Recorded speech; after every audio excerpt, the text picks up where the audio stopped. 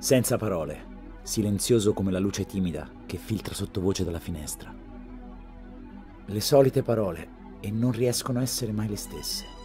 Come tengo fra le mani un frammento della mia vita che sta lentamente cambiando, rendendo i vecchi volti delle cose inespressive maschere di cera senza vita, sciolte dal calore dell'esistenza fuori dal bosco, gocce mare senza riflesso del sole su onde non umide